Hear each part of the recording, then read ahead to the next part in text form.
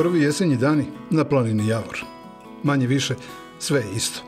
Smenjuju se šume, njive i pašnjaci. Krave i ovce uživaju u sve milijem suncu, ali sada imaju i bučno društvo. Naime, počela je kampanja vađenja krompira, pre svega onog na tržištu dragocenog, semenskog. Armija ljudi zaposlala je obronke ove planine čuvene baš po proizvodnje naše najznačajnije povrtarske kulture. Sudeći po raspoloženju povrtara, reklo bi se da je godina bila blagorodna, da krompira ima dosta i da je dobro kvaliteta. Znači li to i da će ova krtola napuniti kućne budžete proizvođača i obezbediti im bezbrižnu zimu. Neki mi prijatelji tražili koji uvijek ovaj, krompira za jelo. Ja sam oko 25 metara ovaj, izvadio i tu je otprilike oko 100 kg krompira. Znači, otprilike to je preko 5, 50 tona po hektaru. I ovaj, ove godine je dosta dobro rodio krompira ovde kod nas. Svuđe je rodio, cijena je dosta niska, oko 13 dinara. Ali opet kad imaš kvalitet i kvantitet, nešto ćemo se, ovaj, bit će zarade malo. Zadovoljstvo postignutim rodom, ali zebnja zbog njegove tržišne vrednosti stvara istinsku pometnju u planovima ovih gorštačkih poljoprivrednika. S jedne strane, ohrabruju ih sve prednosti koje posjeduju za ovu vrstu proizvodnje. S druge, zebnju pod kožu uvlači nesiguran plasman, niske cene i brojni drugi problemi koji opterećuju proizvodnju u gorjima. Što se prednosti tiče, one su plod koliko prirodnih uslova, toliko i aktivnosti farmera. Mi imamo te uslove ovde dobre, imamo i to stočarstvo koje dobijamo stajnjak taj koji kruži i posle izvlačimo u njivu, jer da nije stajnjaka ne bi moglo ni da se seje taj krompir dugo godina, jer došlo bi do uništavanja zemlje. I oko 30, 30 prikolica puta, puta 3, koliko to izađe, ovaj, tona stajnjaka, ovaj, izvučeno na jedan hektar i 20 možda. I evo vidi se da je malo još u boljoj kondiciji krompir nego prije tri godine što izvlačen. Kada sve te preduslove isprate i povoljne vremenske prilike tokom vegetacije, dobar rod je logičan koliko i sunovra cene, jer pravilo je da tržišni zakoni uvek funkcionišu na štetu proizvođača. Ali kako Refik Zornić kaže, još veći problem od cene je otkup, jer ako veći deo roda ne prodaju posle vađenja, sjenički povrtari stižu do ivice ambisa. U jesen da, da ima, da otkupi neko taj krompir iz njive, A neki on je jeftini, nek zaradi ona što god kupi. Ja sad imam ovde možda, eto, kažem, po hektaru možda 50 do 60 tona.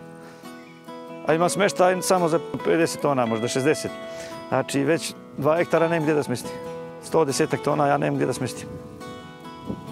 Tako da ćemo morati da ga prodamo, iako bude 10-10. I sa osmehom na licu. Naravno, ovakva prodaja iz nužde nije san ovih vrednih ljudi. Ali kada voda dođe do krova, sve je bolje nego bacanje proizvedenog krompira. Ono što bi pak oni želili da vide na našem tržištu jeste snažnija regulativa koja bi kroz viši stepen sigurnosti stimulisala ovu proizvodnju. Nije bitno sad i ove godine što je cijena niska. Nek opstanu najjači, nek se, hoćemo da idemo kvalitet i sve to, ali bitno je da ima prodaje. I da, da ako je, na primjer, 15 dinara krompir, da se ne uvozi onda. Ako je neka nije, ako je ipak visoka cijena, a može jeftinije da se uveze, idemo, uvozi se krompir, spada i naša cijena, neka ide. Koliko može da se proda. A ovaj, svi bi mi htjeli sad po 30-40 dinara, ajde uzmeo pare. Nije ni to ovaj, ali neka normalna cijena nek bude. Koja bi mogla da, da, da ovaj, i tržište, koliko je tržište nek bude. Ali, na primjer, na istu cijenu ne treba uvoziti krompir. Jel? Ne treba ga uvoziti, na primjer, ako je 15 dinara ovde krompir, onda ga uvez tamo, pet, loši krompir uvez, na primjer, 12 dinara. Ne treba, nek, nek ide naš krompir. U sve probleme koje opterećuju njih i njihove kolege širom zemlje, na uspešnost sjeničkih povratara utiču i stvari koje oni sami ne mogu da promene, a njima proizvodnju poskupljuju i čine ih manje tržišno konkurentnim. Naime, već prvi korak u transportu izvađene krtole ovim ljudima je istinsko breme. Zbog loših seoskih puteva, većina kupaca ne može da dođe do njihovog kućnog praga.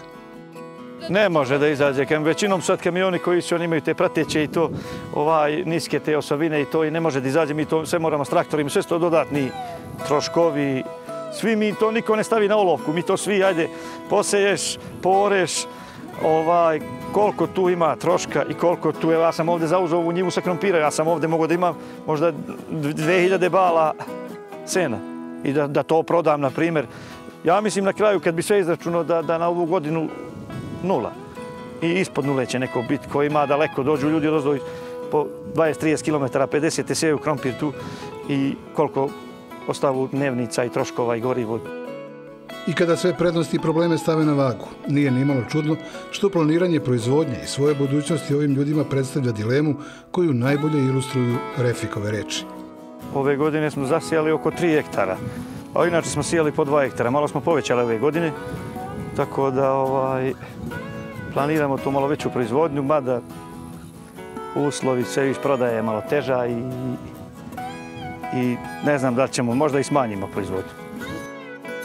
Sve u svemu, da li će se i koliko u buduće krompira proizvoditi na obroncima Javora, teško mogu da predvide čak i ljudi koji od tog posla dugo žive. Ali jedno je za njih sigurno. Ono što može da osigura produkciju našeg najkvalitetnijeg krompira u Sjenici i Ivanjici jeste izgradnja pogona za njegovu preradu tamo gde je snažna sirovinska baza.